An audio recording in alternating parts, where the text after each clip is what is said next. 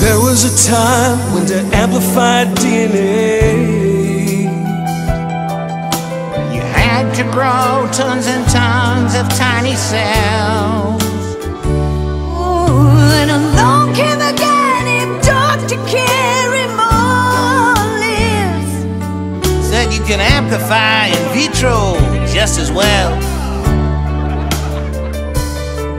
Just mix your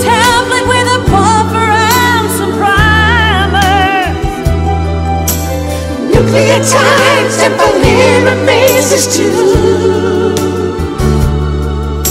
Denaturing, annealing, and extending Well, it's amazing what heating and cooling and heating